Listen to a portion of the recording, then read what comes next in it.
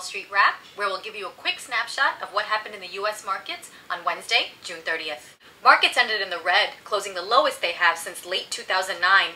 Investors reacted to news of a report that showed that the private sector added fewer jobs than expected. The U.S. government will be releasing their employment report on Friday, which will include information on both private sector and government jobs. The Dow is down 10%, while the S&P 500 and the Nasdaq have both plunged 12% in the second quarter. Prices of gold were up slightly higher as investors repositioned their investments on the last day of the quarter. Oil prices slid, losing 9.7% for the quarter. Investors reacted to a supply report that showed weak demand for crude oil. In corporate news, shares of Ford rose after the automaker said it's on track for solid profits this year and has paid off close to $4 billion in debt.